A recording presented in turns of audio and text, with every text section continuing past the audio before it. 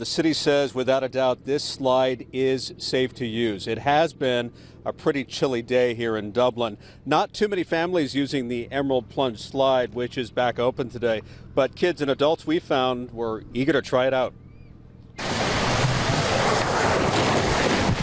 Parent Mike Menashe was the first to splash down. On reopening day for the Emerald Plunge water slide, Mike says he had no fear. None whatsoever. It's totally safe. I went down it and I felt totally safe. But convincing his son to ride was a different story. He declined.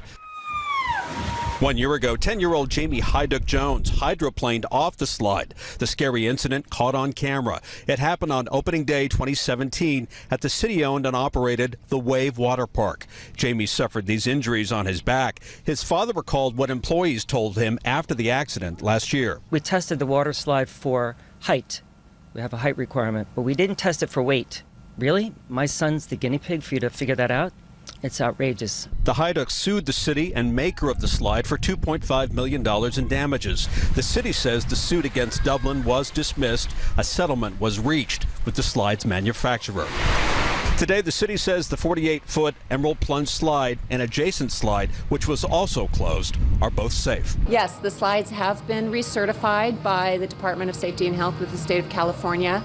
We went through extensive testing. The city says the biggest safety change was lowering the water level at the base of the slide. 11 year old Alex Norapur was the first kid to try it out. It felt awesome.